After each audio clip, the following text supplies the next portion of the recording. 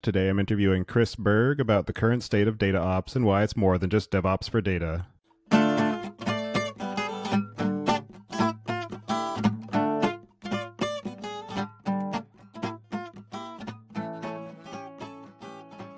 Hello, and welcome to the Data Engineering Podcast, the show about modern data management. When you're ready to build your next pipeline or want to test out the projects you hear about on the show, you'll need somewhere to deploy it, so check out our friends at Linode. With 200 gigabit private networking, scalable shared block storage, and 40 gigabit public network, you've got everything you need to run a fast, reliable, and bulletproof data platform. And for those machine learning workloads, they just introduced dedicated CPU instances. And if you need global distribution, they've got that covered too with worldwide data centers, including new ones in Toronto and Mumbai. Go to dataengineeringpodcast.com slash Linode today to get a $20 credit and launch a new server in under a minute, and don't forget to thank them for their continued support of this show. And managing and auditing access to all of the servers and databases that you're running is a problem that grows in difficulty alongside the growth of your teams. If you're tired of wasting your time cobbling together scripts and workarounds to give your developers, data scientists, and managers the permissions that they need, then it's time to talk to our friends at StrongDM. They have built an easy to use platform that lets you leverage your company's single sign-on for your data. Go to dataengineeringpodcast.com slash strongdm today to find out how you can simplify your systems. And you might say there aren't enough data conferences out there that focus on the community. That's why the folks at Data Council built a better one. Data Council is the premier community-powered data platforms and engineering event for software engineers, data engineers, machine learning experts, deep learning researchers, and artificial intelligence buffs who want to discover tools and insights to build new products. This year, they will host over 50 speakers and 500 attendees in San Francisco on April 17th to 18th and are offering a $200 discount to listeners of the Data Engineering Podcast. Go to dataengineeringpodcast.com slash data council, all one word, and use the code DEP-200 at checkout and you listen to this show to learn and stay up to date with what's happening in databases, streaming platforms, big data, and everything else you need to know about modern data management. For even more opportunities to meet, listen, and learn from your peers, you don't want to miss out on this year's conference season. We've partnered with organizations such as O'Reilly Media, Dataversity, and the Open Data Science Conference. So go to dataengineeringpodcast.com slash conferences to learn more and take advantage of our partner discounts when you register and go to dataengineeringpodcast.com to subscribe to the show, sign up for the mailing list, read the show notes, and get in touch. And to help other people find the show, please leave a review on iTunes and tell your friends and coworkers. Your host is Tobias Macey, and today I'm interviewing Chris Bergh about the current state of data ops and why it's more than just DevOps for data. So, Chris, welcome back. And for people who haven't listened to your last interview, can you just start by introducing yourself quickly? Hi, uh, thanks for having me, uh, Tobias. My name is Chris Bergh. I'm uh, CEO and head chef of a company in Cambridge called DataKitchen, and I'm a bit of an older nerd. written a lot of written a lot of code in my life. Um, so started off in uh, Wisconsin, went to the Peace Corps and taught math for a few years. Went to Columbia and studied AI back when no one in the world knew what AI was. And then went to MIT and NASA, and then uh, got the management bug. Uh, and then about 2005, got the data and analytics bug. And I started work in you know what, with what we now call data engineers and data scientists and people who did data visualization. And I was CEO of a company, and we had a lot of a lot of smart people that we hired. And I worked for a, a CEO who uh, was a, a Harvard educated physician and he knew a lot about healthcare, and knew a lot about analytics, but he didn't know a lot about sort of how to make the trains run on time. And for years, I had to gather, you know, a data engineer and a data scientist and other people in a room and figure out how to get my boss's request done. And I'd come back to him and he'd say, you know, I'd come back and say, well, it's going to take two weeks for our team to do something, being all excited. And he'd sort of look at me with his Harvard eyes and say, Chris, I thought that should take two hours. And, uh, you know, uh, when I would get out of my office, I would get calls from our customers sort of uh, yelling at me that the data's wrong or it's late. And then we had hired all these smart people and they wanted to use their own tools. So I lived this life for many years of how do you deliver kind of innovative analytics fast with high quality and, and using the tools that you love. And that's sort of the genesis of, of the company. You know, our company is really focused on trying to bring this idea of, of data ops or data operations to the market. And so last year, and I'll add a link in the show notes for anybody who wants to revisit our conversation from then, but we talked about the idea of data ops and what it means, at least as of that point in time. So can you start by just giving a quick overview of how you define data ops and some of the ways that the industry has taken on that moniker and either changed or updated that definition since we talked last? Yeah, you know, I currently manage people and have managed a lot of people in my career, but I'm I'm not really that charismatic or even good of a manager. You know, my I have an INTP Myers Briggs. Uh, you know, I've had to learn to manage, and I think learning to manage is different because I've noticed people who are naturally good leaders. I, I joined a CEO forum, and there's a 29 year old woman in the CEO forum who's probably just a much better leader than I am, just charismatic and confident, and and just a person you want to just follow. And so leadership and management were, were hard for me to learn. And I do have one advantage though, is that it's i think leadership and management with a group of people working together on some technically operated thing is a distinct set of skills. So you can read harvard business review and go get your mba but really when you're dealing with this you know think of hundreds or dozens or even thousands of people working on something like a factory or working on like something building a big piece of software or working on all the various parts of the value chain and analytics. That technically complicated thing that we're all working on is requires a different management approach. And it's, you know, part of it is, yeah, you've got to be a good leader and read Harvard Business uh, Review and all that stuff. But a lot of it is these ideas that started when people managed factory floors and this technically complicated thing with lots of people working on it. They were getting lots of errors and lots of problems. And there was a guy named Deming, and people look, you know, there's this original idea of Taylorism, break everything down into small pieces and then work on small pieces. And, you know, there's all these uh, apocryphal stories about why that didn't work. But really, the, the idea is that when you're in a technically complicated domain, if you can deliver something in a small batch to your customer, it's better.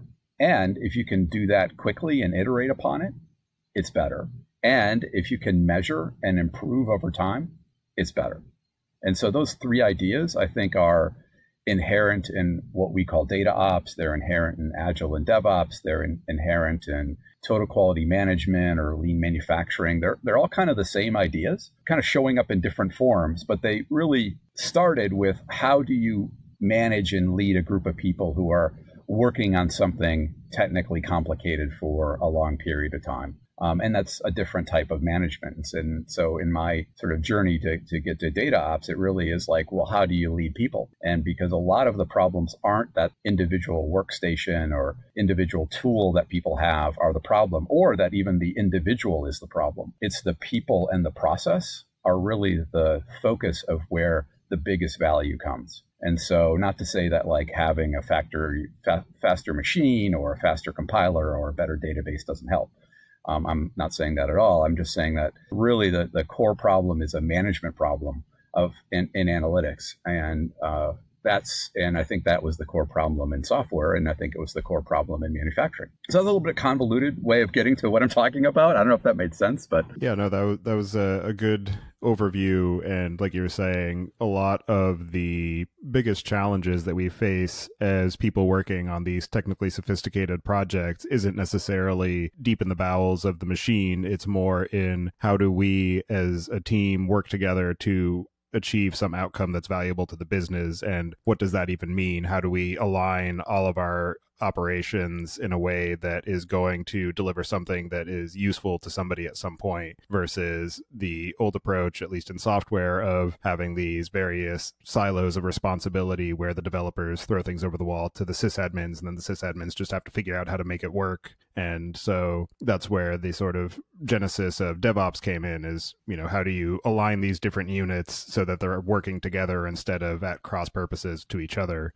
Yeah. And so that brings me to my question of how the sort of common definition or the accepted view of what DevOps is conflicts with what people are expecting when they try to bring those conceptions to this definition of data ops and some ways that data ops in particular is its own beast and unique from the DevOps practices that have been developed over the past decade. Yeah, well that's a, that's a great question. And and so yeah, I tried to position DevOps or ops of anything in this intellectual history of the last century, and, and I think I, think that's true. And so, uh, in that sense, I don't think data ops is new. It's just application of these principles of how to get a group of people to work together where they're all sort of working on the same machine at the same time. And you know, people with analytics, you know, people have, I think, started to talk about it more. I think it's become more of a thing. And it's sort of similar to the early days of what happened in, in DevOps and Agile. You know, there were some, the, the market hasn't settled on a definition. People are talking about it. You get some companies who do nothing related to it, using the term as a halo and, and marketing. And there's, it's just co- sort of confusion. And a lot of ways, uh, terms and monikers for ideas are are hard, and because the marketing team gets it and wants to inflate it and cover their you know cover their company in glory, and and it takes a little bit of intellectual work to get at you know what is this idea. And the way I position it is, yeah, you got to manage a team of people in a technically complicated, complicated environment. So, you know, look at lean and agile uh, as ways to think about that and as a, a framework to do it. And so there are differences between, you know, what I call DevOps and, and what I call data ops. And so how do I know about those? Well, I manage teams of software engineers for many years. I've, I've written a, a lot of code and managed teams in Agile, managed teams in Waterfall, managed teams with uh, DevOps principles. And then the, the, same goes when managing people who do data visualization or, or data science or data engineering. And so I have a unique perspective, both being able to write code in both areas and, and managing teams in both areas. And in a lot of ways, uh, software engineers and data scientists and data engineers we're really alike from a personality standpoint but we're we don't talk to each other very much we're kind of cousin nerds and you do find some people who've uh, come from software engineering into data engineering, but by and large, they're just different tribes. And so, as an example, you would say, Where do you put your stuff when you're a software engineer? And 99% people would say version control. And if I ask that same simple question to different people in different roles, maybe 5% now would say version control, and 95% would say, Well, we put it in a file system or on a shared drive, or it's here on my laptop. And so, that's one area where just the, the, the people's response are different because the there there is different. And so in data ops and DevOps, first of all, they're just different people. And you know, characterizing a, a broad generalization of people in, who do software is that they're you know they like technical things, so they're interested in how the machine works. And so they're interested in this cloud versus that cloud. They're interested in learning about Git. They're, they, they may know a couple of different languages, the scripting language, they may, know Python. Whereas broad generalization is that people who do data science or data engineering or data visualization, they're more interested in the problem and therefore are not interested in the in doing several languages to get at it. And so as a result, uh, they tend to be less adventuresome technically. And not to mean that they're not smart. It's just that if someone knows R, they're just they're going to know R and they're not going to pick up a scripting language and an XML variation and a DSL and know two or three different languages and, and be cognizant of it and, and spend their evenings reading about it. They're going to spend their time reading about how to develop a next algorithmic technique or learning about the data preparation or visualization or all the other stuff goes on. So it's just there's different people. We're alike each other and, and we have have different expectations. And that's just one sort of broad way that, you know, sort of d- data ops and DevOps. And actually have like a, a, whole bunch of different ways. I don't know, Tobias, do you want me to go through each one or, or how do you want me to, to, to go through? I think that it could be interesting to sort of enumerate all the different ways that data ops and DevOps and software engineers and data engineers and data scientists are different, but that could probably fill up a podcast just by itself.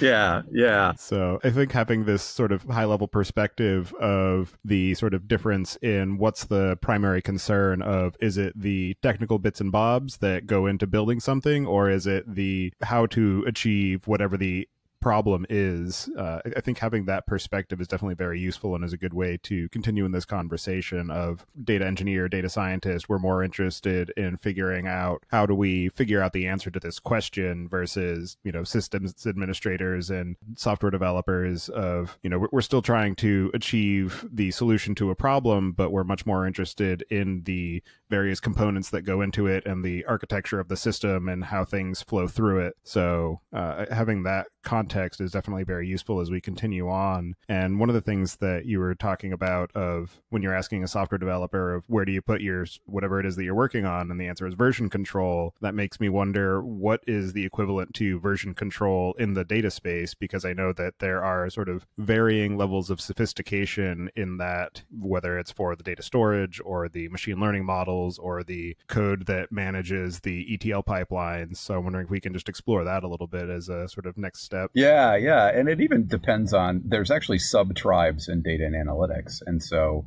people who do data visualization, or, or there's a lot of analytics that are done self service Tableau, Paxata, Trifacta, Excel. Um, and that's actually, I think, a good thing because they're close to the customer and they can iterate quickly.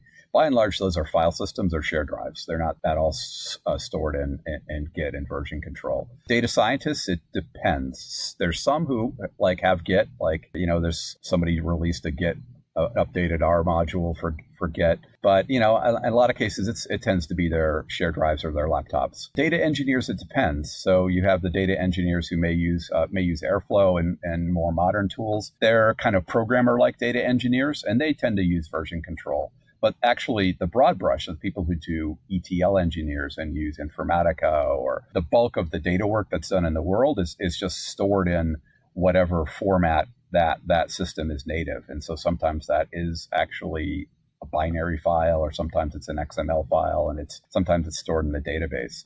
And so, yeah, it just it really depends on on the the subgroup in data and analytics, and and it's puzzling to me because I go to data conferences, and uh, you know, if you're a data engineer listening to this, well, you obviously believe data has power, and obviously believe that it's better to make decisions based off data than than not data. Well, those decisions that are based off data or not data are, are based on code that is running on top of the data that may be a visualization or an R model or, or an ETL code. And that's really, you should, think that's high order intellectual property of, of your company. And so why is that on a share drive? Why is that in someone's laptop and not kept? You would think, you know, you read about Google and they have their, their own massive version of all their code in one place. That's the intellectual property of Google is in there. You talk to people who run hedge funds and they, they partition the code into what hedge, what strategy they have. And you know that you can't talk about it to the other people in the hedge fund because that's the core IP. And I think a, a data driven business, the core IP is the work that the people do and to put together the pieces in the, the value chain from source data to, to results. And that should be kept in one place because it's it's it's important. And version control is, I think, the best place to put it. And, and you know, shared drives and locking it in an internal system is is not. And so that's where uh, that's just one case of where the sort of data ops or DevOps mindset that applies in data analytics is just not there, and it's it's changing, and people people are learning. And you know, a lot of uh, another counterweight to that is a lot of the tools that people use are not. You can put the XML, for instance, that Tableau or that SSIS or Informatica use in version control, but it's actually hard to diff and hard to merge. And you end up having to sort of parameterize it and do sort of kill and fill. And there's a lot of proprietary engines out there that aren't really version control code driven, but more just here's my, it's just an external file format and it's my file format. It's got, you know, it could just be binary for all we know. You can't actually merge it. And that's, I think that's better in some tools. You know, I think, for instance, Looker and the BI space is actually better and actually supports Git and version control. Other ones are, you know, Tableau's got a, a funky XML file that you got to struggle with then you know you don't want to get into some ETL tools that just store it in freaking binary format that you don't even know what's going on. And so, uh, you know, the, the, the challenge I see is that as data ops is getting more popular, being a, a, tool vendor, they're struggling, or I don't think they're paying a lot of attention to being a good data ops citizen because they'll have binary formats, or they're trying to say, you use my tool. Basically, they're selling magic beans, right? You use my you use my tool, and everything's wonderful and there is no magic beans and get over it. You've got to do its code at the end of the day. It could be code that runs in an engine. It could be code that runs, uh, has to be compiled, but it's code. Code means complexity. Code means you know test it and deploy it and do all that stuff that you do with code and just get over it and stop selling magic beans to people that if you use my tool, everything's great. And so that's one of my frustrations is that as the market matures, I think people I think people need to demand that the tools that they use, it's almost like the right to repair movement. Like, don't trap me in your tool. Like, give me the source code. Let me store it someplace else. Let me understand what's happening in that source code. And it's just a matter of writing a better file format.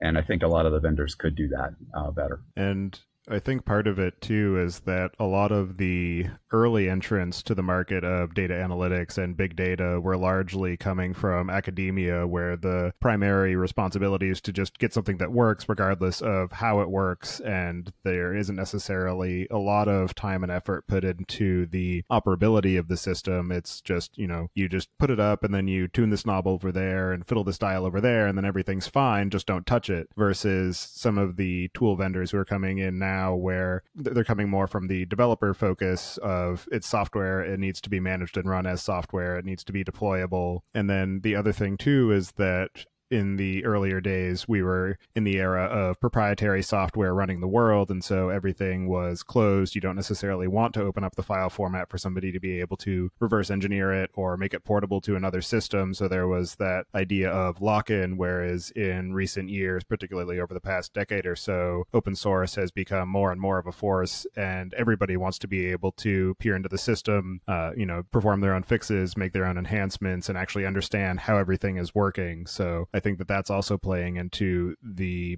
increased willingness of engineers, whether it's data engineers, software engineers, data scientists, to have these systems that you have the access to be able to do that tinkering. Yeah. And so I'm curious what you have seen, you know, over the past few years, but particularly in the past year since we last talked, what you have seen as far as the overall influence that this concept of data ops has had on the types of tools and system components that have become available available or changes in the existing ones that have happened over that time that are targeting the big data and data analytics eco- ecosystem to make them more operational and software driven? you know, I, I got to be honest, and not a lot. I, you know, I wish there was. I wish more people were doing it, and I think you know there are companies who are like I think Looker is, is from their beginning as, as, as thought of what they do as code. But there's a strong urge for proprietary lock-in that and expansion of scope that drives the growth of a business. And so once you have a customer, you want to take more share of wallet and, uh, you know, you can do more. And so, for instance, Tableau just is a, a, it's an amazing company and an amazing tool, but, you know, they have a data prep feature now. And so you can do data prep and it's still the same sort of funky file format that Tableau workbooks have, and they haven't really improved it. They've expanded, but they, they haven't improved it. And so I do think that, you know, from a developer focus, open source and, and treating your infrastructure as cattle, not pets, th- those ideas I think are really important. But, you know, the proprietary lock in is such a draw. And even the cloud providers have a whole nother level of, you know, both taking open source and, and bundling it in their offering or having, you know, with a little spin on it that makes a proprietary lock. So I think it's always going to be in data and analytics in the software industry. People are looking for proprietary lock and it's the temptation is so hard because if you do get it, you can get a monopoly going and, and, you know, you can make a ton of money.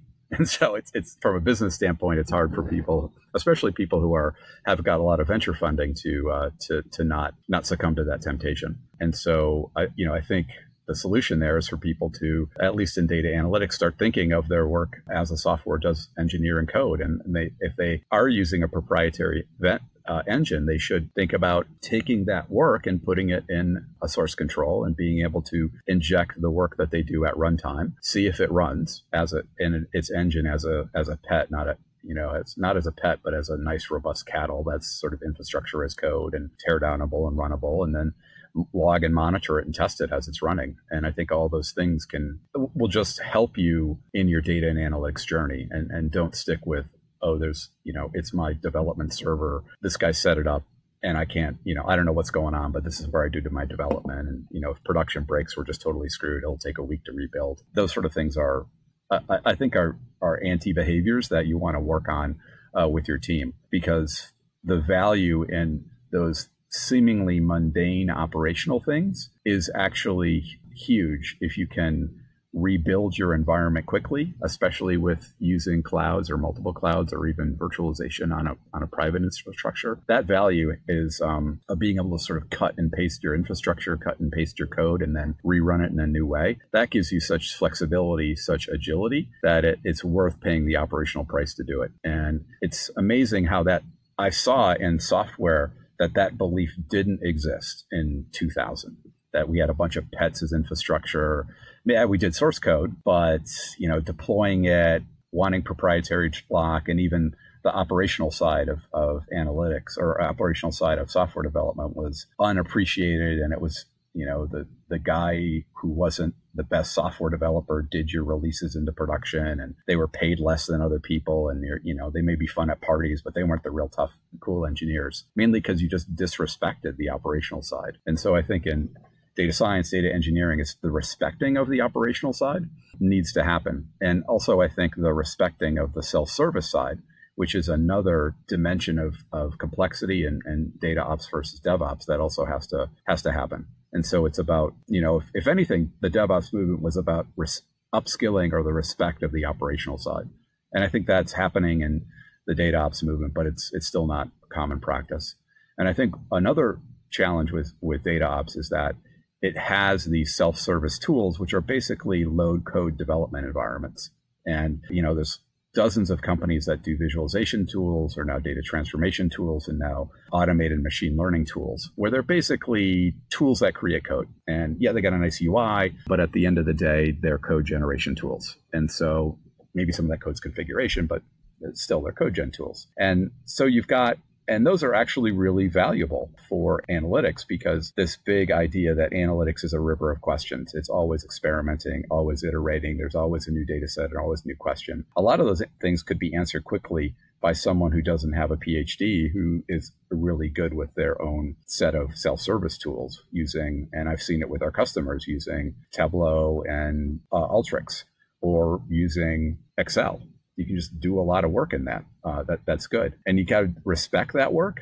And a lot of times, people in larger IT organizations they say the good work happens centrally here in the home office. The stuff in the field is, you know, it's desktop data marts, it's it's sprawl, it's problematic, it's ungoverned.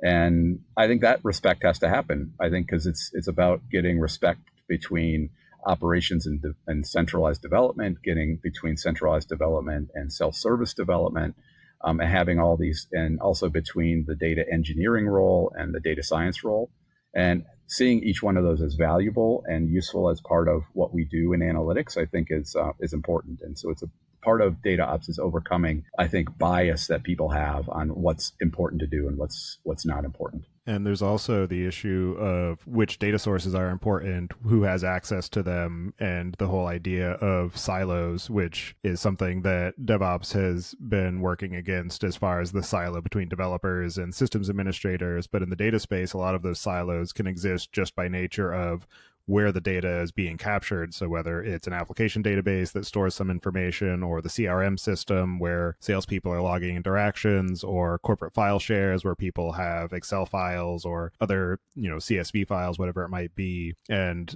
so I'm wondering what your thoughts are as far as the sort of general techniques to help eliminate those silos or reduce the effects of those silos and unify data into systems that are more self-service or ways that they can be brought into the analytics lifecycle and also just your overall thought on how those different silos play into some of the necessity for this idea of data ops and sort of unifying the entire business across a common goal versus having these different systems that not everybody necessarily knows about or has access to. Yeah. So data silos exist in a lot of companies, right? Because they're multi division companies, because of legacy systems. Um, and it's hard for people to have access to data or to find data. And I think those are real problems. I'm not sure how data ops directly addresses those. you know, I, I, I see customers doing a lot of putting things into cheap storage like S3 in the cloud and saying, okay, I just, my first step is I want to take our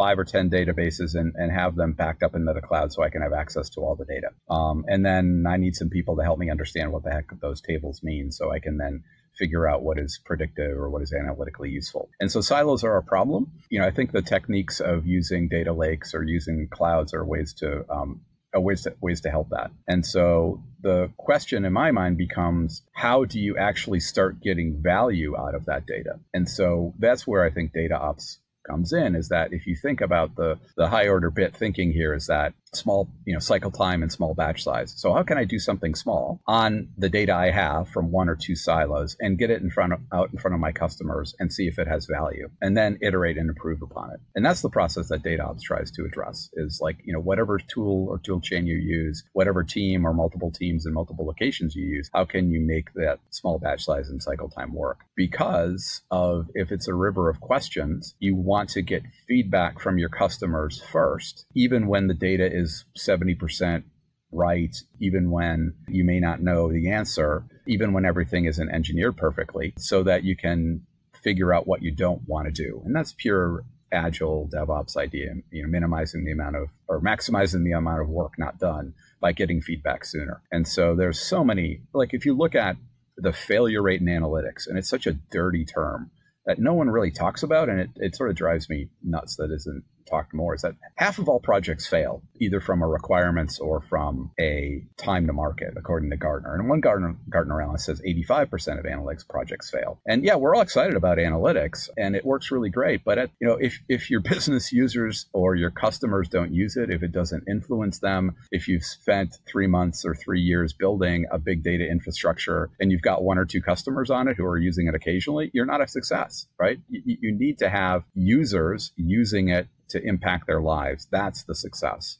And so I, I, think that challenge of silos are important, but you could argue that governance is important. You could argue that knowledge of people who to understand data literacy is important. All those things are important. But I think the the way I see the world is the way to address those is is to do your work with technical excellence, deliver it in a small, repeatable cycle that doesn't kill your team when they want to uh, change it later, and get feedback, and then take that feedback and iterate and improve. And that's the best way to engineer things. It's the best way to deliver. And it, and it ends up just being more pleasant environment because you, then you don't end up with like three month death marches or six month death marches. And then all of a sudden people don't use it. And I see that day in and day out. People are, they're building these complex edifices uh, and it's fun as an engineer to go off and work on the cool things. And you've got, you know, you're filling out your resume to get stuff done. But the real value is are people using it? Are you having an effect on the world? And you've got to ask yourself, that's the, that's what you want to do. And you don't want to kind of hide off and, and build crystal palaces and then have no one use it. And what have you found to be some of the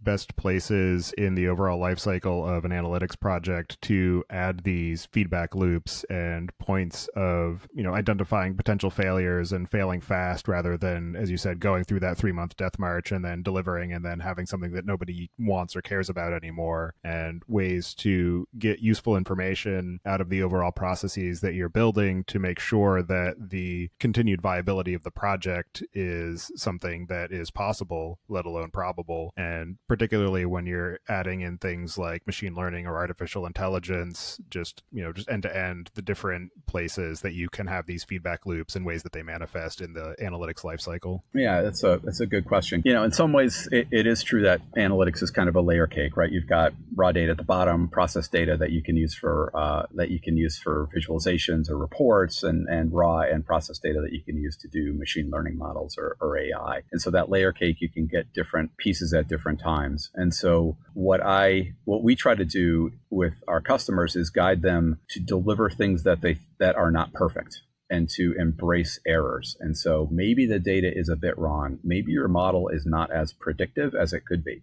Um, maybe it's not quite right, the visualization. Maybe your schema is wrong or you don't have all the data, but get something sooner in whatever you're doing so that you can actually hear what your customer is finding valuable because for the most part, I think we as engineers live under the assumption that everyone in the world is good abstractors and good taking things and abstracting them into, you know, its logical structure. And it turns out most of the world isn't. And they actually have to see things in context. And uh, the, I don't know if this is a, a digression, but I'm going to digress. So in uh, graduate school, I did this test called Legrenzi and Legrenzi. It's a psychology test, and I gave people a syllogism in terms of A, you know, if A then B, if B then C, then A then C, and I gave them that structure. And yeah, about five percent were able to get the structure, but I told that same structure in a, in the context of a story, and 95% were able to get it right.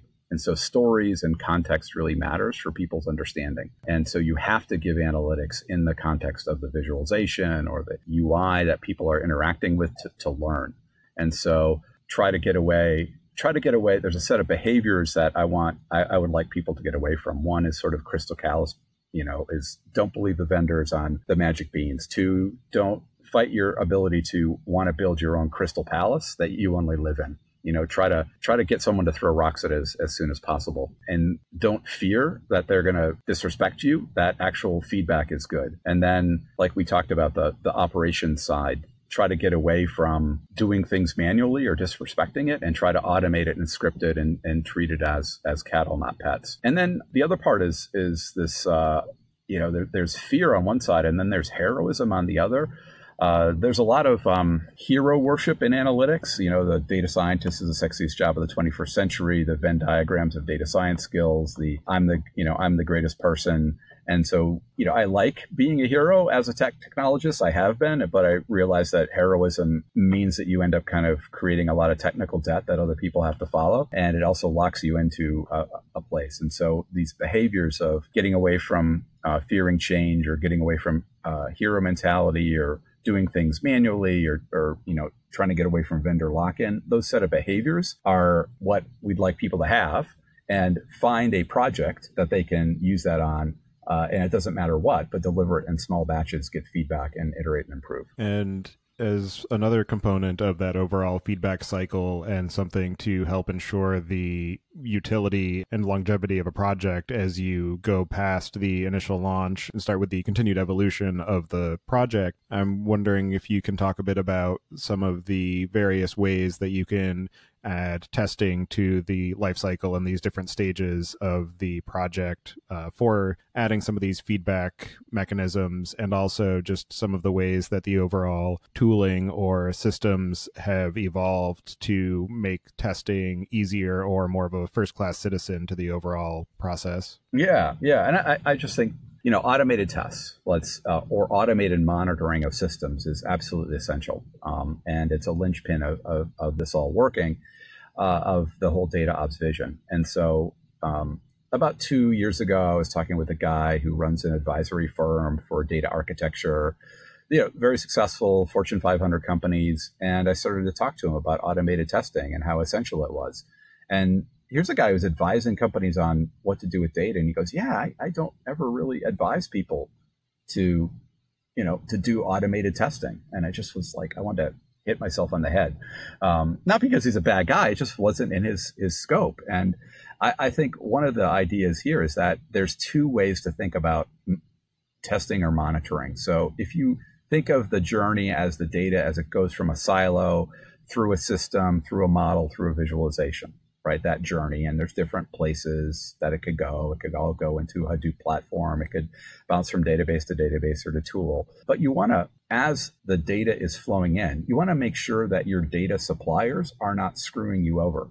And that, I use that term intentionally, not, not because data suppliers are bad. It's just a lot of people don't respect data. And typically sometimes they'll forget or they'll drop a column or the meaning of the data will change or they'll uh, you know, give you a whole huge change in the data set. Uh, you know, they were giving you a million rows, suddenly they give you 10 million rows. And so you need to test that data as it flows through all your code, all your systems to make sure that it's actually working.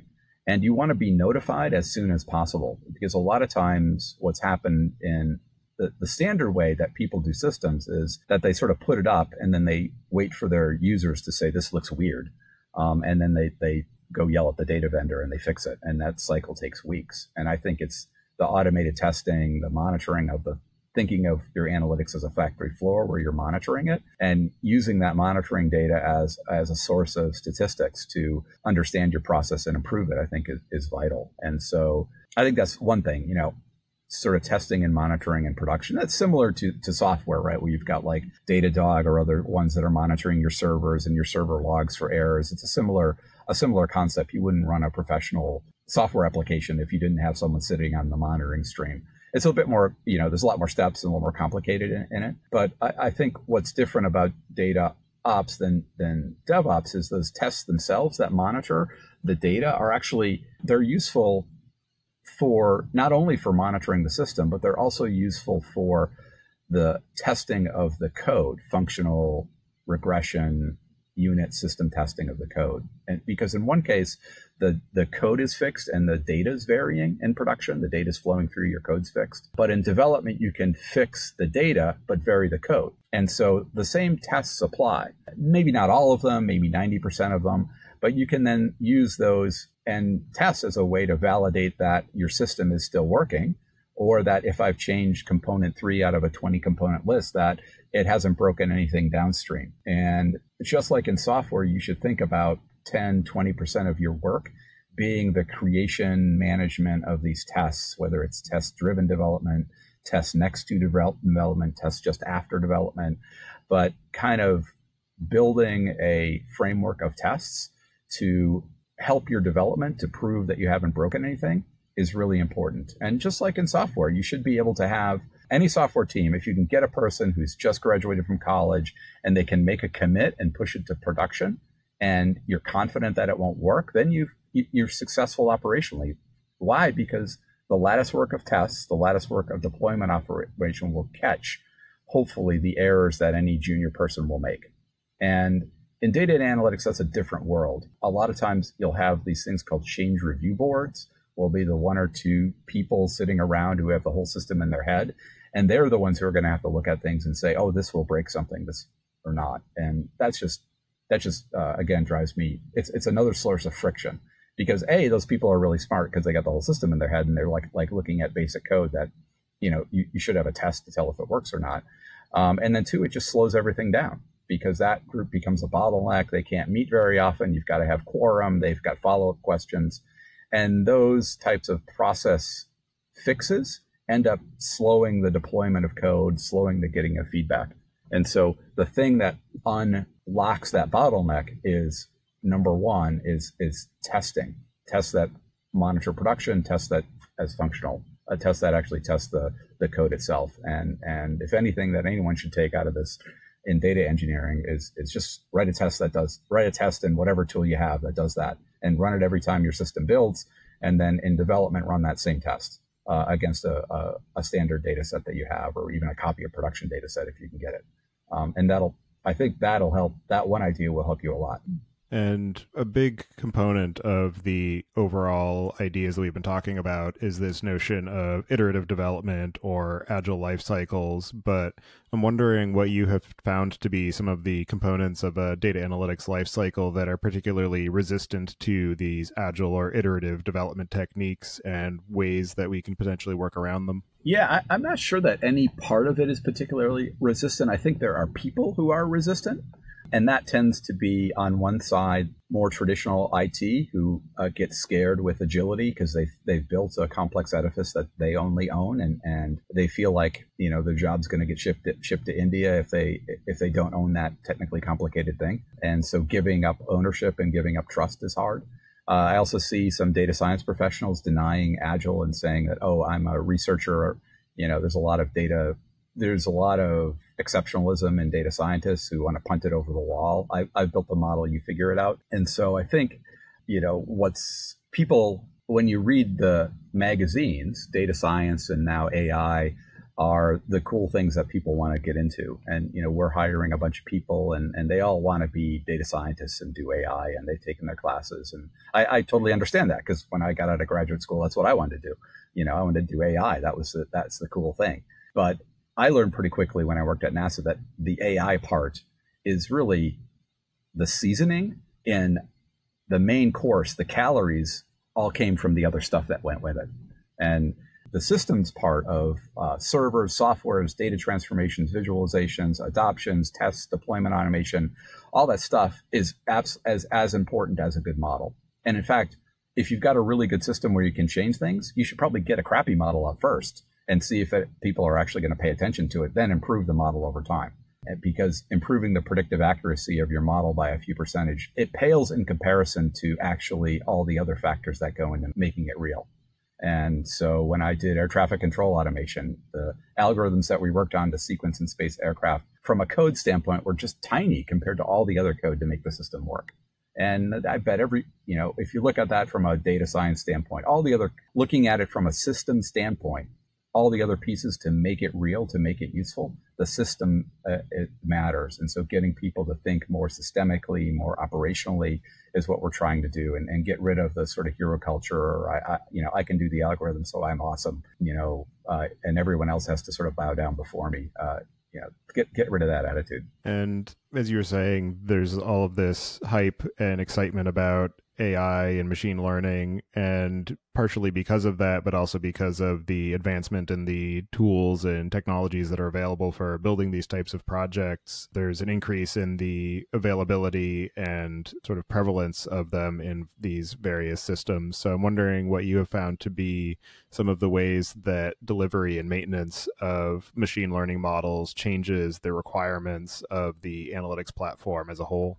Yeah, there's there's a lot of great work, like in Kubernetes and in Kubeflow. There's a bunch of companies that have formed around sort of real time model deployment. You know, like like there's Seldon and Parallel-M and Metis Machine have all gotten funding around this. There's uh, and I think there's like two or three more, and they all have an open source project. And I think that's that's great, right? I think um, you know real time model deployment and model deployment is an issue, and I think there are particulars cases where monitoring models, doing champion challenger A/B testing, I think really matters. Uh, again, but I go back to it's a systems problem and a pro- people and process problem, and so uh, and I think there are tools that can help a data scientist or someone doing AI better. Um, but that's the hands on the keyboard to help an individual contributor write code faster is not is important but not urgent.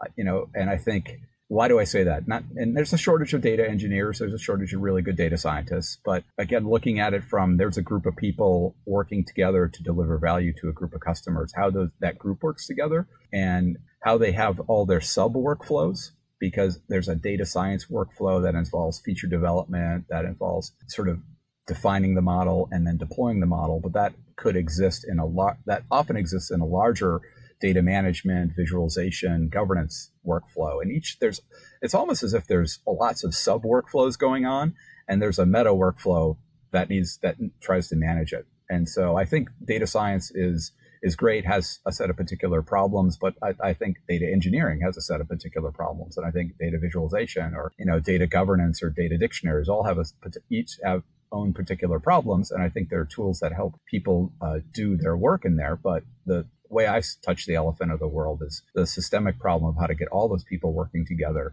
is really where the value lies. And if you can help that, I guess my bet is that helps this that helps everyone do a better job and can help this 50% of all data and analytic projects fail.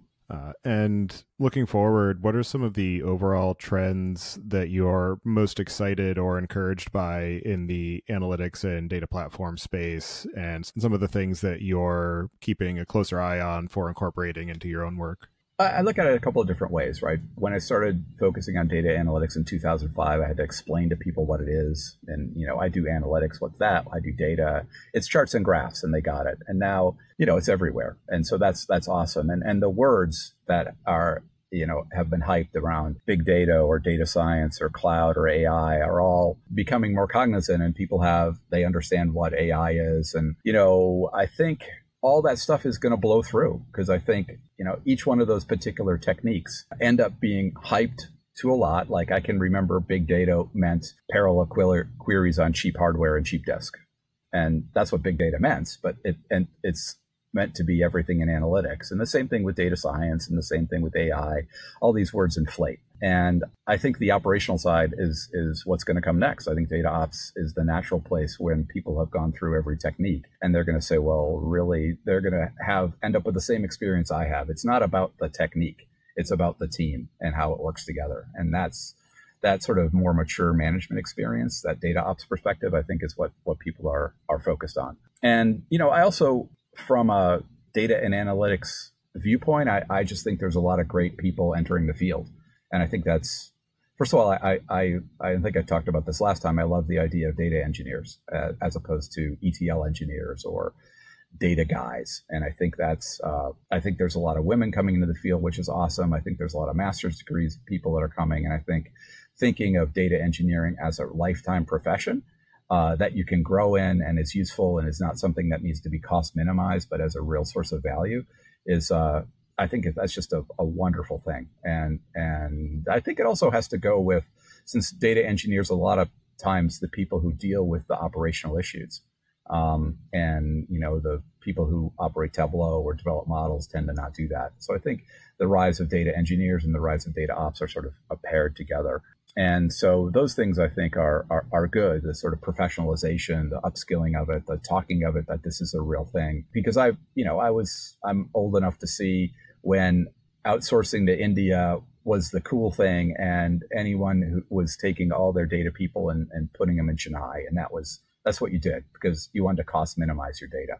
And now it's completely different. Um, and so I think that's that's a really good thing. And and I also think from a as everyone knows, just from a tool standpoint, the amount of tools that people can use are growing and gaining and just filtering through all the tools is probably a, a part-time job. I mean, I supply, I, you know, I, I've subscribe to three or four different newsletters and on data engineering and it's just the amount of uh, techniques and the amount of writing people it's it's a full-time job just to keep up and, and I and I don't do it. I just sort of gla- graze at some of these articles but just trying to keep up is a full-time job. Yeah don't I know it?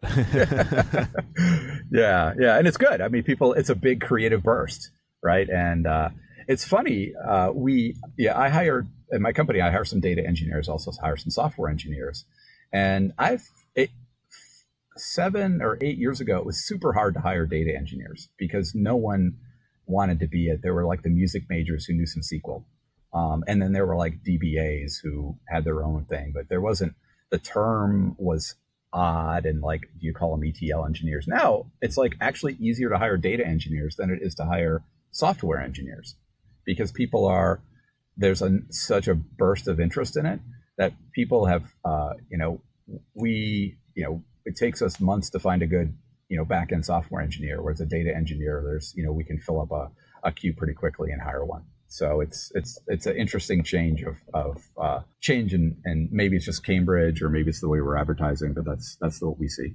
And are there any other aspects of data ops and the comparison to DevOps or anything else about the work that you're doing at DataKitchen that we didn't discuss yet that you'd like to cover before we close out the show? Well, I think uh, the first thing is uh, we we've been talking about it for a couple of years, like three, four years, and we've been trying to explain the ideas. So we basically took all our blog writings and website writings and reformatted them in a book. And so if people are interested, you can uh, check out. We call it the Data Ops Cookbook. It actually has recipes in um, that you can that you can cook. But it's it's a collection of ideas. There's lots of pictures, so you can scan it to to get it. But it's a it's a way. It takes a lot of the ideas that I've talked about and and, and put it in more practical terms. And um, you know, I think and I think data ops is it's the it's on the Gartner hype cycle, which happened a few months ago, which actually made a world of difference. Um, you know, Gartner had a its first data ops session in London. It had 400 people at it which I find just incredible. And so the term itself is being, uh, likewise with the term of data engineer, is just being used more and it's more common, and people are having a shared understanding. So if you want to learn more about data ops, read our book, um, read our blog, uh, and it's it's it's feeling like it's becoming a thing. Um, whereas uh, you know when we talked last time, uh, it, its thingness uh, was still a little bit in doubt in my mind, but I, I think it's coming, and I think it's it, it is a trend for the future. And it's just to me, it's just it, it's that's partly why I founded the company. It's obvious that this is this has got to happen, and it's I think it's going to be one of the most important things that happen in analytics in a while. And you know, be part of the movement, just being a vendor who sells some software to do it, but also just trying to uh, get these ideas out there. I think it's important because I struggled with these ideas over the years, and I'd like to have people who are like me not struggle in the same way I, I had to, and not have to go read Deming from the beginning or get yelled at by their boss in the same way that I did and have a little bit more intellectual framework to understand their problems and how to solve them instead of having to work from first principles. And for anybody who does want to check out that book and your blog, I'll have the links in the show notes and I'll also have you add your preferred contact information for anybody who wants to get in touch or follow along with the work that you're doing. And as a final question, I'd like to get your perspective on what you see as being the biggest gap in the tooling or technology that's available for data management today. The biggest gap? Interesting. I don't want to say the same thing over and over again, but I, I just don't think it's a tool and technology problem. You're not going to solve the real problem with a faster query or a faster way to write code, or I don't think a better predictive model is going to change the world. I think all those things pale into the, the systemic problems that, that data ops addresses.